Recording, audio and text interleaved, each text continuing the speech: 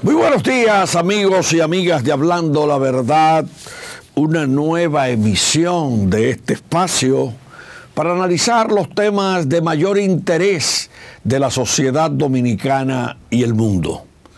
Hablando la Verdad, Su Mundo TV, canales 101, 1101 HD de Claro, Canal 46 de Win Telecom, Canal 10 del Telecable Dominicano, Canal 647 de Amazon Fire TV, en más de 40 sistemas de cable a lo largo y ancho de la República Dominicana, a través del satélite EUTEL para los Estados Unidos y todo el continente americano, sumundotv.com y las redes sociales. No hay dudas de que tenemos unos políticos aspirantes a la presidencia de la República y a la reelección demasiado creativos. Creativos porque solamente están en su mundo de aspirar al ejercicio del poder. Unos dicen que aspiran y otros dicen lo mismo, pero sin expresar que serán candidatos en el 2024. Yo no sé quién les recomendó al expresidente Danilo Medina la brillante jugada política de visitar los proyectos de las llamadas visitas sorpresas que no eran nada de visitas sorpresas, porque todo el mundo sabía hacia dónde se dirigía el presidente de la República. Yo estudié en su debido momento, fui a conocer de qué se trataba inicialmente una visita sorpresa, entre comillas, sino una visita anunciada para cada domingo el expresidente de la República, Danilo Medina, reunirse con productores de cacao, de jengibre, de especias y de todos los proyectos como el relanzamiento de la industria del casabe allá en Monción, en Palmarejo, en Loma de Cabrera y otros puntos de la línea noroeste genial quien se inventó esa visita sorpresa de nuevo. Ahora quizás sean sorpresa, pero tienen que hacer alguna coordinación, entonces eso le quita el concepto de sorpresa. Genial la idea para Danilo Medina, el expresidente, salir de su casa los domingos y reencontrarse con los promotores de proyectos comunitarios.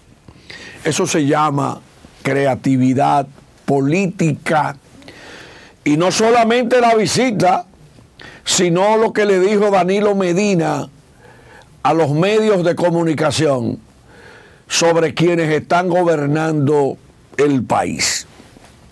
Danilo Medina, en una jugada maestra, logra colocarse luego de la reunión con el expresidente Hipólito Mejía que lo visitó en su casa, es un elemento segundo, el segundo elemento que lo coloca en los titulares y en el contenido de los medios de comunicación.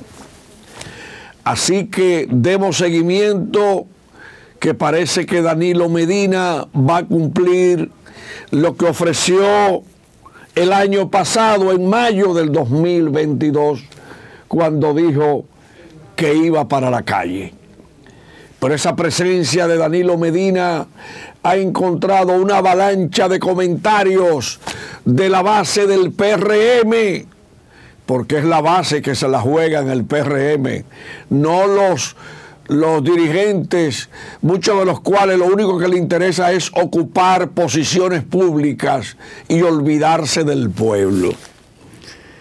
Sigamos las visitas y los contactos de Danilo Medina, que luego de la selección de Abel Martínez como el más, el más votado en el PLD, parece que no quiere dormirse en los laureles y seguir apostando a las cuotas grandes de poder en los comicios de 2024.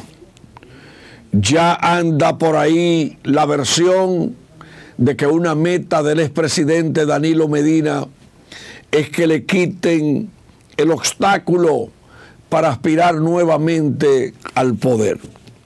Son de las tantas cosas que nos trae la política folclórica y vernácula de la República Dominicana.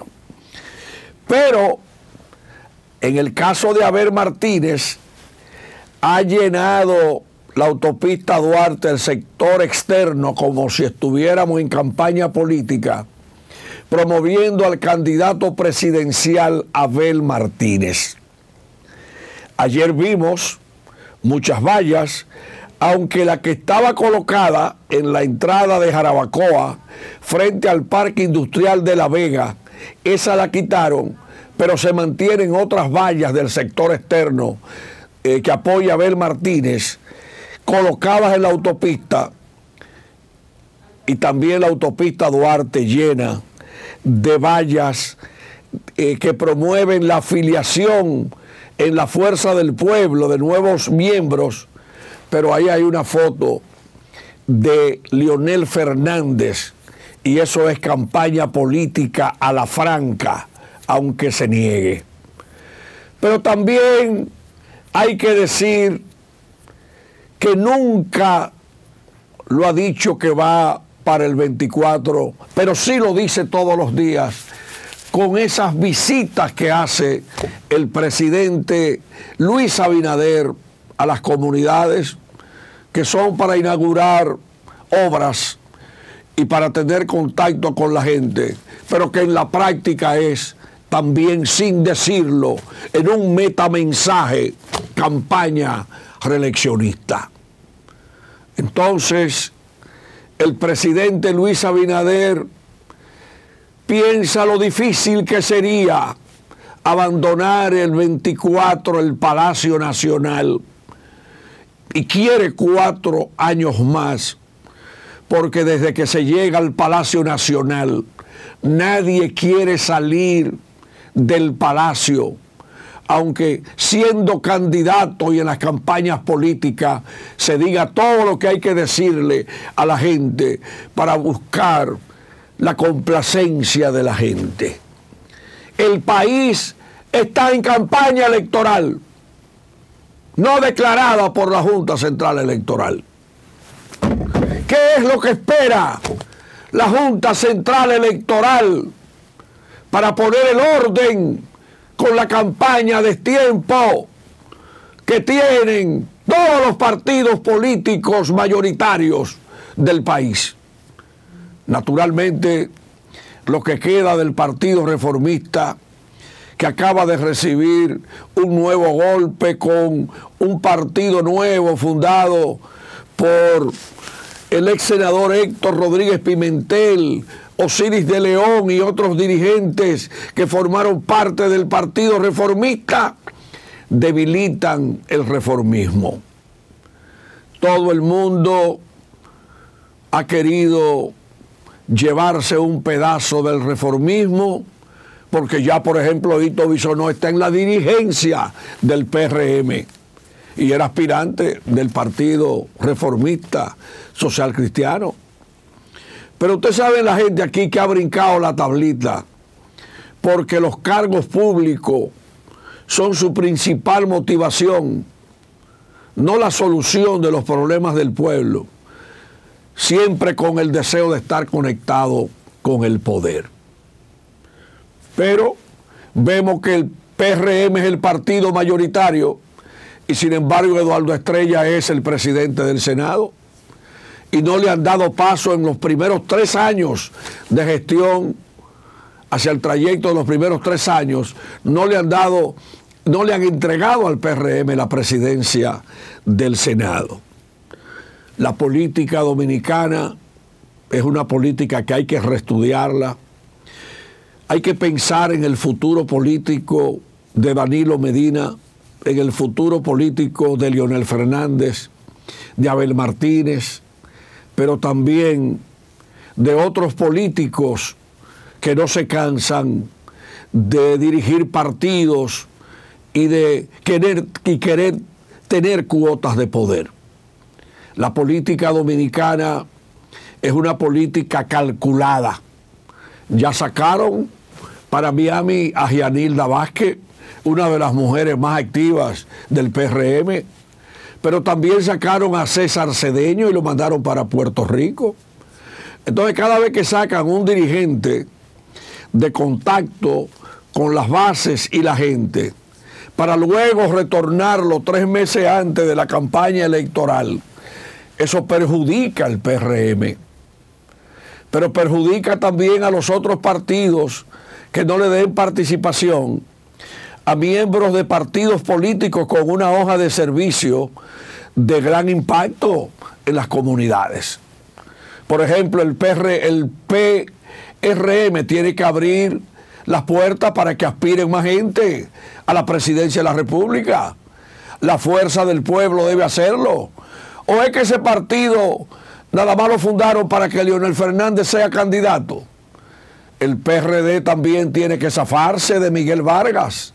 O sea, una política de concentración, de poca renovación.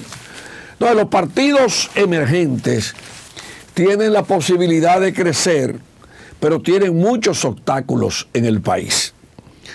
Entonces, la Junta Central Electoral, que está muy concentrada en la prolongación de la legislatura para que conozcan el proyecto de modificaciones a la ley electoral y que tiene artículos muy polémicos, por cierto, vinculados a los medios de comunicación y a la publicidad, temas que son rechazados por los medios, entonces la Junta debe averiguar por qué ya aspirantes a cargos electivos están colocando vallas en la avenida Luperón, sacándole la lengua a la Junta Central Electoral.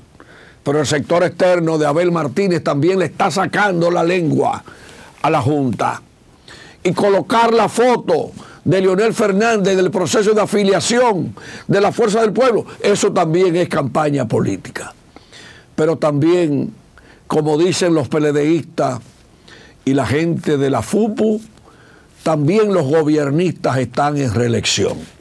Entonces, todos están en actividad política y por eso la Junta Central Electoral debe adoptar medidas incluyendo que les retengan los fondos a los partidos que están violando la ley si no se ponen en orden y dejan de irrespetar al país con la campaña desesperada, adelantada que han montado eh, ocho nueve meses antes de las primarias de octubre de este año.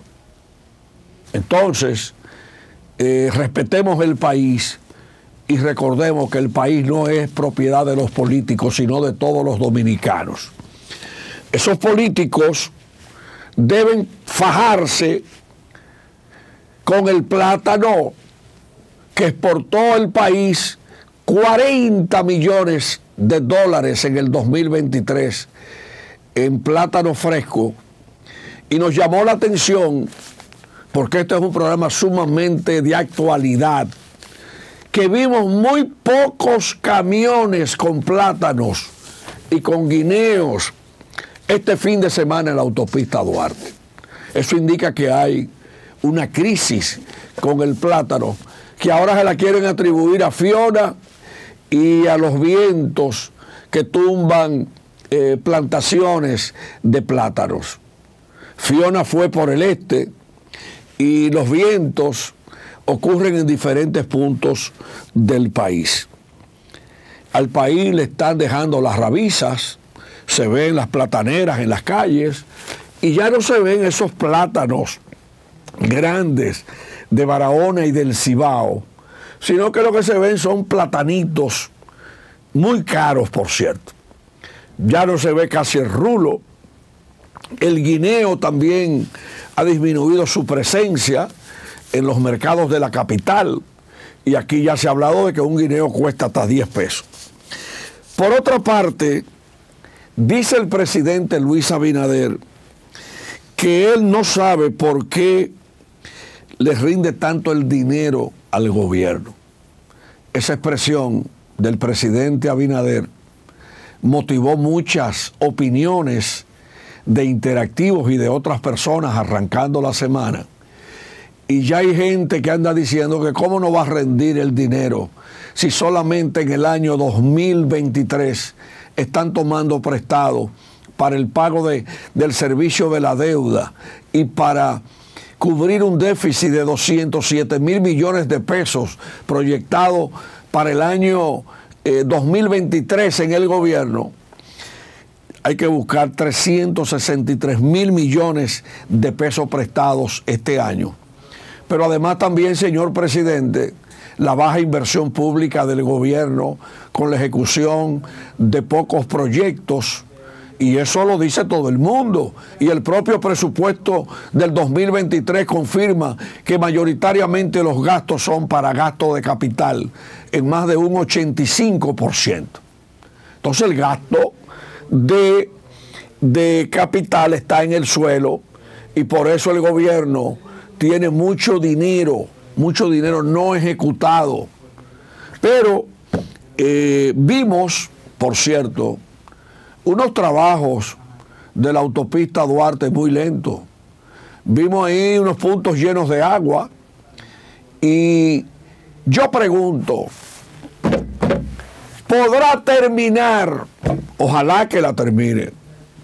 El gobierno, la remodelación de la autopista Duarte con lo que queda de periodo gubernamental resolverán lo del metro, terminarán lo del metro de los Alcarrizos a Santo Domingo en el tiempo previsto.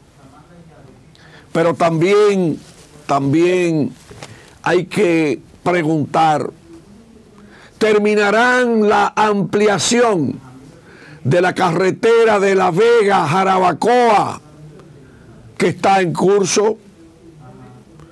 Terminarán todos los proyectos que ejecuta Obras Públicas en el tiempo programado para que sea un elemento que favorezca el intento reeleccionista del PRM para mantenerse en el poder más allá del 2024?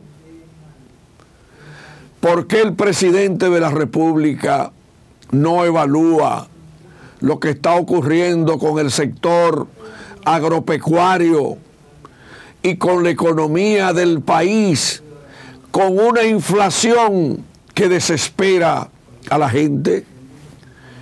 No le preocupa al Palacio Nacional y al presidente Luis Abinader que una funda de cemento este fin de semana fue vendida a 495 pesos la funda en un escandaloso precio que frena la industria de la construcción y la encarece además arrancando el 2023. No preocupa que persista el conflicto entre el Colegio Médico Dominicano y las ARS, hundiendo la clase media y a los pacientes del país. No preocupa, señor presidente, que el ADP se crea que puede hacer lo que le dé su maldita gana en las escuelas del país, perjudicando la docencia de los niños que no pueden ir a la comodidad de los colegios privados por los altos costos. No preocupa que los productores de San Juan de la Maguana, una provincia visitada por el presidente Abinader este fin de semana, denunciaran que en el comedor económico de San Juan de la Maguana no le compran a los productores ni una libra de habichuela, ni de pollo, ni de arroz, ni de ningún producto producido en esa provincia.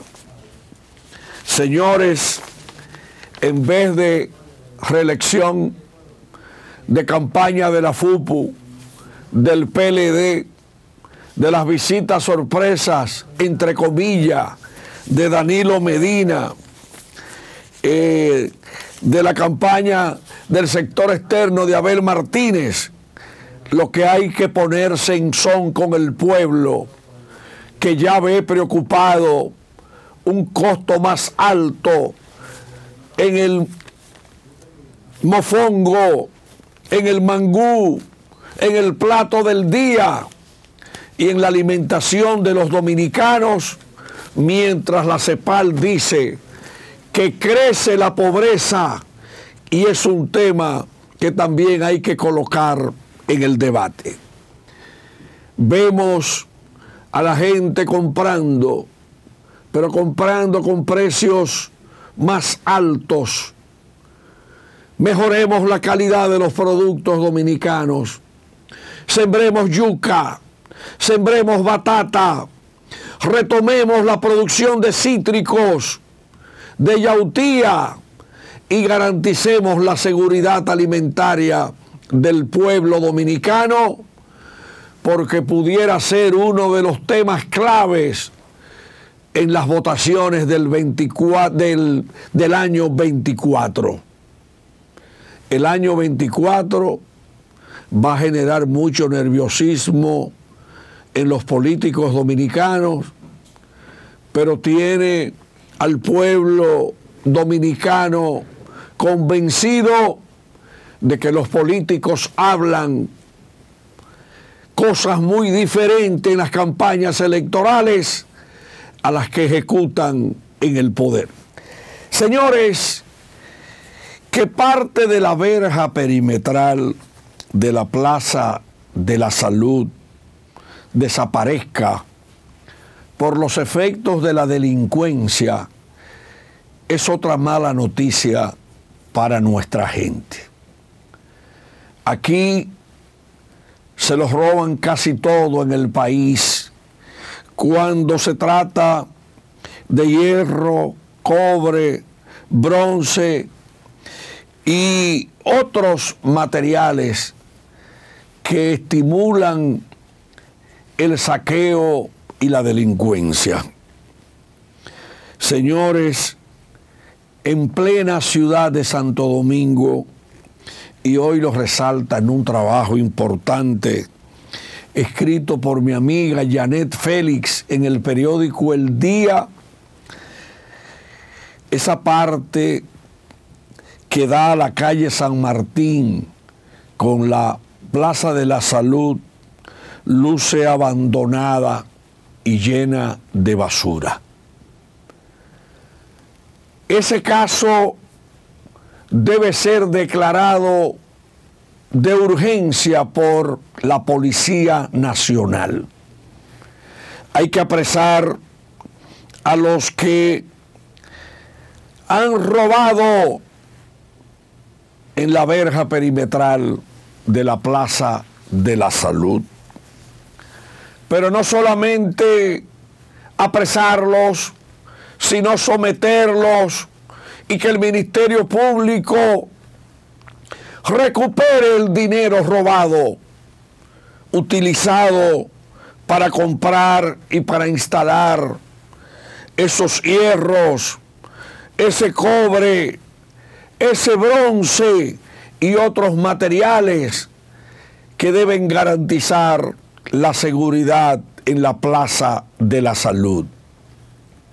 Aquí robos y atracos en Gascue,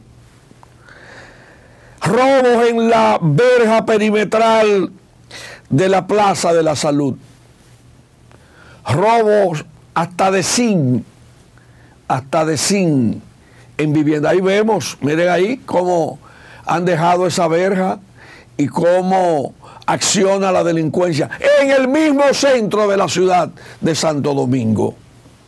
Porque aquí lo que se hace es aplicar operativos sobre temas que se mantengan en la opinión pública, no políticas permanentes que garanticen la seguridad.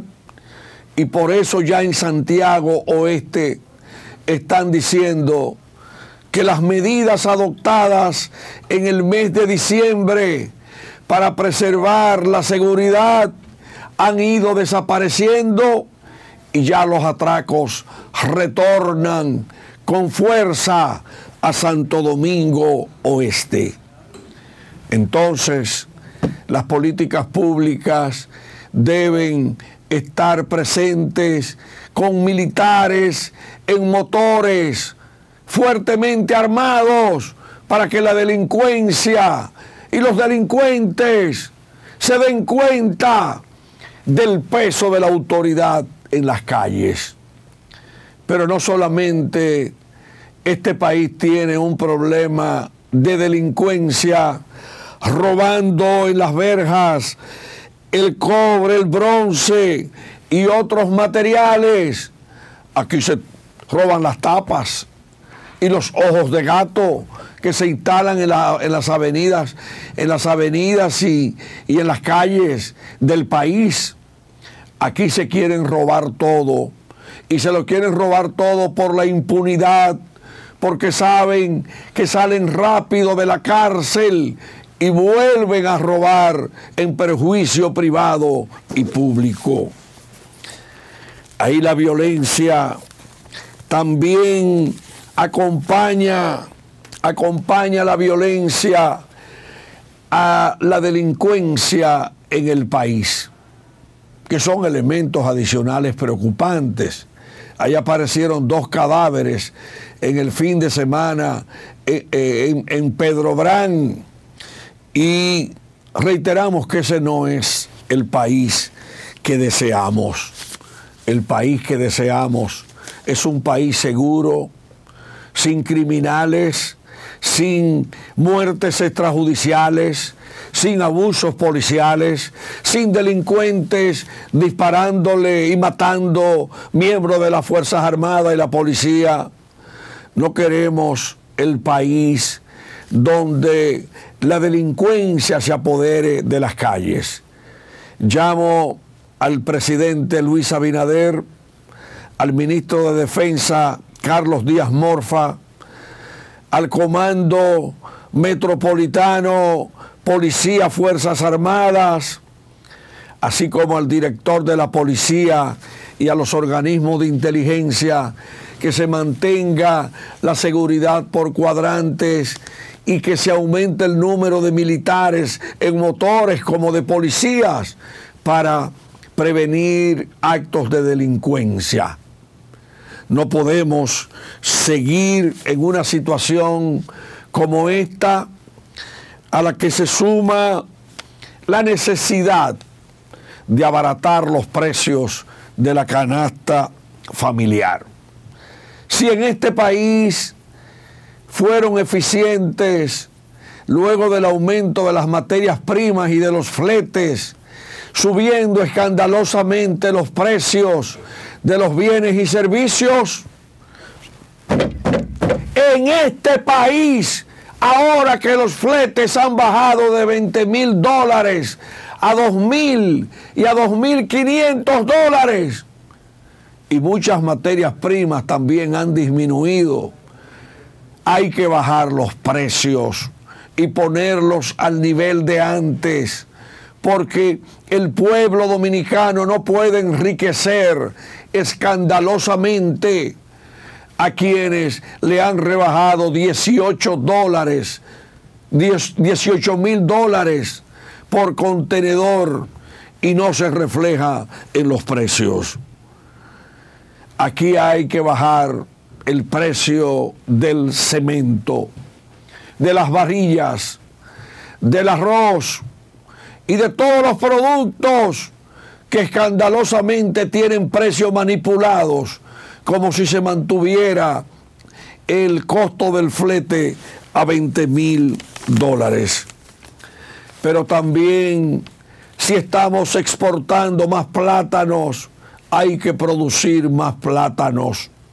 Y hay que resolver el problema del alto costo escandaloso de los fertilizantes, los cuales también deben reflejar los precios reales en el mercado.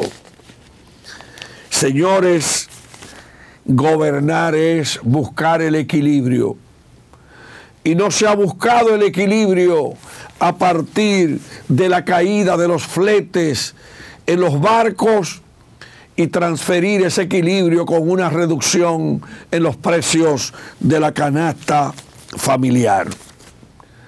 En otro orden, saludamos la presencia del presidente Luis Abinader inaugurando algunas obras ayer en Santo Domingo Norte, donde entregaron 100 apartamentos del plan Mi Vivienda del Ministerio del Ministerio de Vivienda y también un centro de formación Mamá Tingó en Santo Domingo Norte.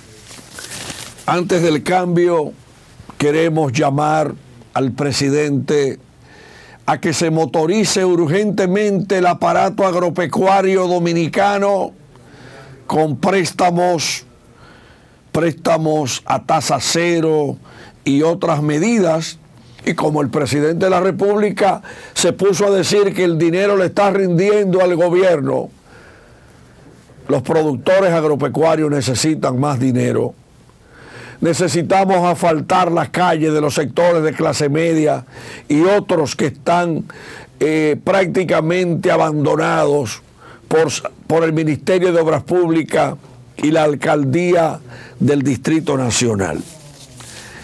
Y como le están dando mucha coba al ministro de Obras Públicas y al ministro a la alcaldesa de Santo Domingo, pues que tapen, aunque sea los hoyos, y resuelvan problemas comunitarios.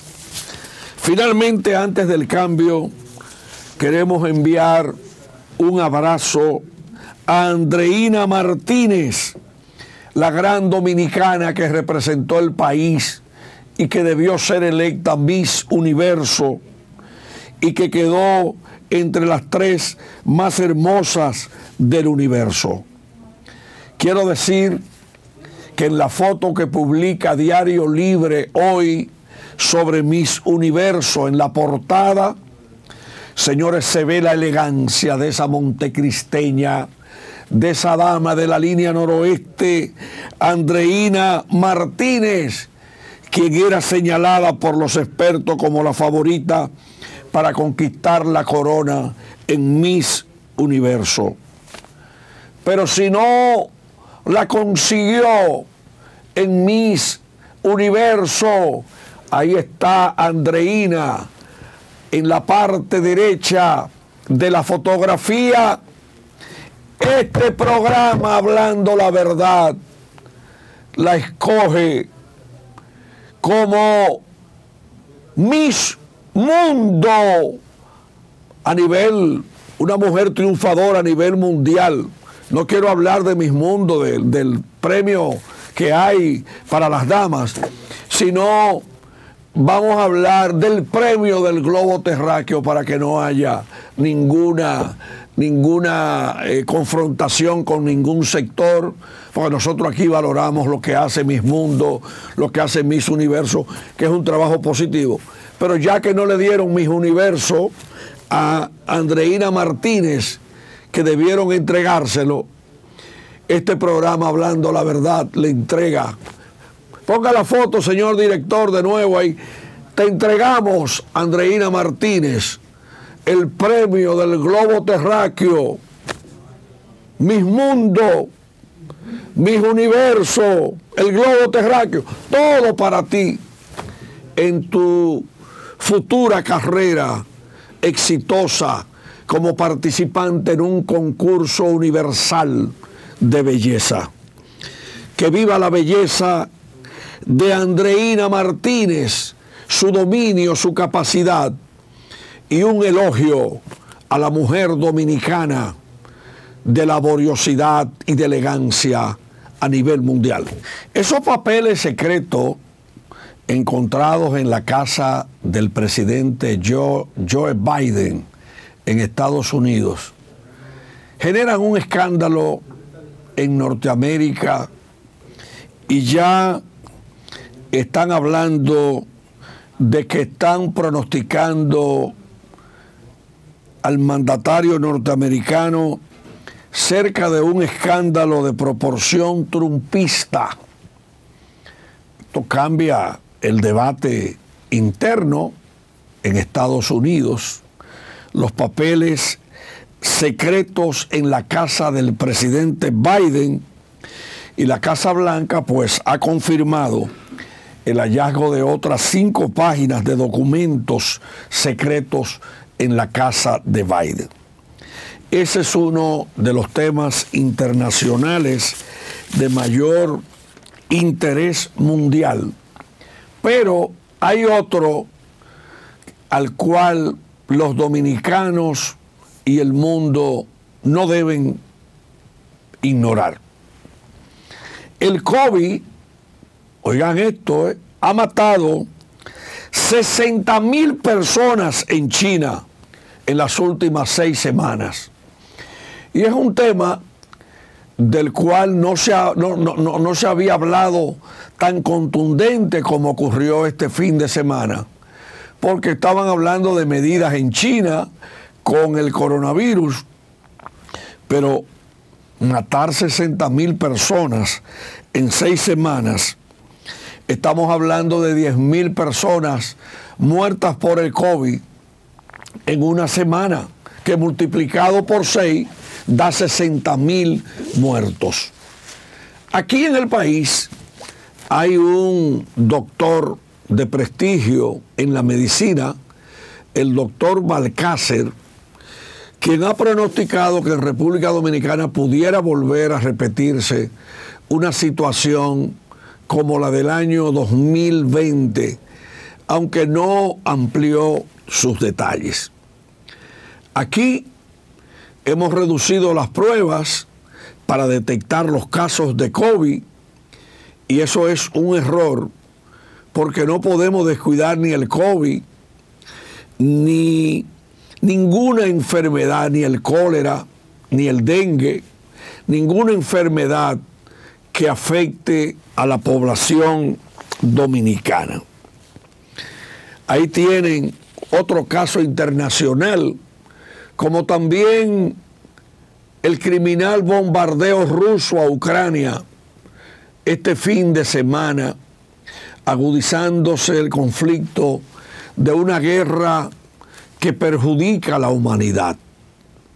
A esa guerra debieron ponerle fin y deberían iniciar la reconstrucción de las partes afectadas tanto en Rusia como Ucrania para normalizar la paz que necesita el mundo. Aquí hay que hacer lo que dice el Papa Francisco, que envió un mensaje al mundo en ocasión de los 25 años del viaje de Juan Pablo II, que era un papa en contacto con la gente y quien vino, y quien vino en dos ocasiones a la República Dominicana. Sigan caminando juntos, que Jesús y su madre los acompañan, dice el Papa Francisco. El Papa ha clamado también para que cese la guerra en Ucrania y Rusia. No queremos que en el mundo se fajen como un vulgar negocio a fabricar armas para las guerras. Lo que queremos en el mundo es recuperar la Amazonía, reforestarla, garantizar la seguridad alimentaria mundial, los empleos, los ingresos de los estados y gobiernos para resolver los problemas de la gente, no especular con el precio del petróleo, ni las materias primas, ni los fletes, sino un mundo en el cual convivamos transparentemente y sin abusar de nadie. Necesitamos ponerle mayor control al caso del cólera con los haitianos que llegan al país y ahí se están reportando dos casos de cólera de dos jóvenes haitianos allá en Bánica. ¿Qué están haciendo las autoridades más que un anuncio de un cerco a las enfermedades en la frontera que no evita el aumento de los casos de cólera en el país? Otro tema de este día, el abandono del monumento a los héroes del 30 de mayo. Si han abandonado las calles, si muchas avenidas le tapan hoyos con un asfalto cuya calidad parece no muy buena y que debe ser investigada por el presidente de la República, ¿qué será de ese monumento a los héroes del 30 de mayo? Del cual solamente se recuerdan el día de la actividad con motivo del recuerdo del ajusticiamiento del dictador Trujillo. Pero en el fin de semana también un motín en la cárcel de Najayo, donde resultaron heridos seis reos, pero donde hubo una oposición a la verificación de lo que tienen los presos en ese penal. Qué pena que realmente se haya producido ese motín, pero los reclusos deben recordar que tienen que cumplir normas, normas penitenciarias mientras estén guardando prisión en ese lugar. Esta mañana, en otro orden, un vehículo del Ayuntamiento del Distrito Nacional se llevó de encuentro unos cables en la calle Camino Chiquito, esquina Mejía y Cotes, y como si nada se marchó más rápidamente del lugar que los otros conductores que estaban ahí. Y eso es un acto de irresponsabilidad de ese chofer que hizo eso en horas de la mañana de este lunes. Señores, esperemos detalles de un incendio que destruyó autos y tres negocios en Herrera, una zona comercial e industrial. En otro orden, quiero saludar a todas las voces en la comunicación social que sacan tiempo para abordar temas como articulistas y analistas en los medios. Señores, Julio Martínez Pozo, a pesar de lo ocupado, saca tiempo para escribir. Narciso Isaconde escribe de una manera contundente en primicias y en el periódico Al Tiro al Blanco y el matutino, el vespertino El Nacional. Juan Taveras Hernández escribe, nunca ha dejado de escribir, Juan TH, como también mi gran amigo el doctor Rafael Ciprián, y me complació intercambiar palabras con una voz contundente del periodismo dominicano como es Danilo Cruz Pichardo, uno de los maestros de la Escuela de Comunicación Social de la UAS. Lo hace también el médico Anulfo Mateo Pérez, lo hace Ramón Colombo, Manuel Hernández Villeta, Venecia Joaquín y también otras voces de importancia como Hugo López Morrobel, Leo Corporán, Franklin, Franklin, el locutor de los Tigres del Licey, Franklin Mirabal, y muchísimos periodistas dominicanos, Saúl Pimentel en almomento.net, Esteban Rosario en Santiago de los Caballeros, Esteban Delgado en el periódico Primicias y en El Dinero, como también otras voces como Guillermo Carán, que analiza los sábados temas económicos en su columna en el periódico Hoy. Yo felicito a Nelson Marrero por sus trabajos periodísticos. Saludo a Ivonne Ferreras por las posiciones que emite diariamente tanto en la radio como en uno de los portales de su portal digital. Felicito a Xiomarita Pérez por enseñar a bailar son y salsa a los dominicanos. Felicito a Andrés Fortunato Victoria por su análisis Haití, un árbol que nació torcido. Señores, qué interesante que Manuel Espinosa Rosario, desde las matas de Farfán y San Juan de la Maguana, se mantenga activo en el periodismo. Pero lo mismo que Enrique Vargas allá en Puerto Plata, Socorro Arias en el periódico Diario Libre y todos los que sacan tiempo para orientar como lo hace su Mundo TV, como lo hace hablando la verdad, todos los días de lunes a viernes, ejerciendo una comunicación necesaria para la democracia y para el país. Mañana será otro día hablando la verdad. Su Mundo TV, cobertura mundial.